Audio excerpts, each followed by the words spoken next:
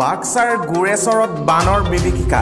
Corona ভাইৰাছৰ সন্ত্ৰাসৰ মাজতে ৰাজ্যত অব্যাহত আছে বানৰ তাণ্ডৱ। বিগত কিছুদিন ধৰি হোৱা নেৰানেপেৰা বৰষুণৰ ফলত ফেনে ফটুকাৰে ওফন্দি উঠিছে ভূটানৰ পৰা বৈ অহা কেইবাখনো নৈ। ভূটান পাহাৰৰ পৰা বৈ অহা খৰচোতা দেওচুঙা আৰু পুঠিমাৰী নদীৰ বাঢ়নি পানীত আজি বাক্সা জিলাৰ গোৰেশ্বৰ ৰাজচক্ৰৰ অন্তৰ্গত দেওচুঙা বাঙালীপাৰা বালাবাৰী নিচকুচোলা হাৰিজোৰা আদিকে ধৰি কেইবাখনো গাঁও প্লাৱিত হয়।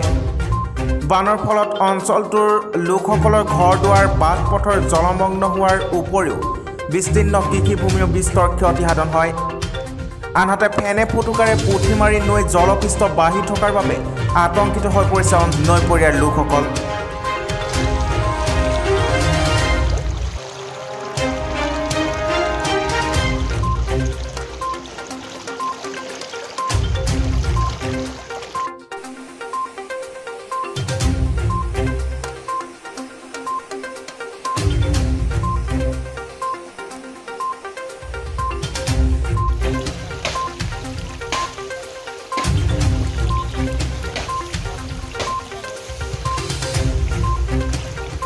গোৰেশ্বৰৰ পৰা বিপ্লৱ চিমৰীয়া ৰিপৰ্ট অসম টুডে